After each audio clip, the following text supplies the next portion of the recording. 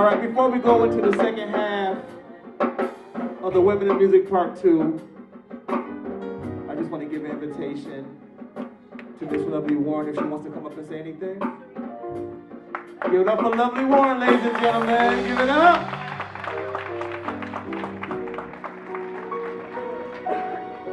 I thought he was gonna ask me to come up here and sing. And I was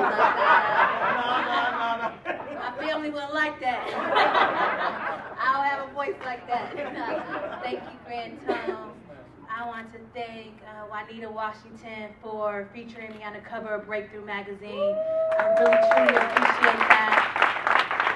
Uh, for the Glam Squad, Maisha and KP, and everyone who put the magazine together, I just think that it was wonderful, and all the women that was featured in this uh, magazine, I just really appreciate being in this magazine with all of them, and for all the talent that's here tonight, and our young people that were featured here today. I just want to say that Rochester has so much to be proud of. We have so many wonderful, wonderful jewels that we can um, showcase and be proud of. And that's why I am happy that I'm going to be leading the city. I'm happy that God has blessed me to be placed here at such a time as this. I know that we will do great things in this city together, and I appreciate you all for your support. I ask you to continue to keep us in your prayers. We have a lot of work to do, but we have great, great opportunities as well. So thank you so much. And Juanita, this is wonderful. Thank you.